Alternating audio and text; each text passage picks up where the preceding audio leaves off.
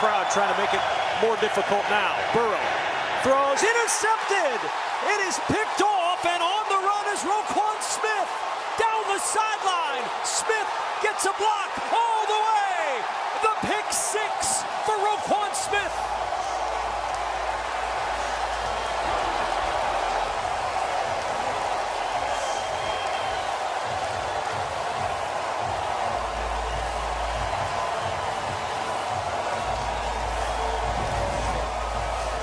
And Joe Burrow just lost sight of Roquan Smith. He starts to drift under this sit route by Boyd in the seam.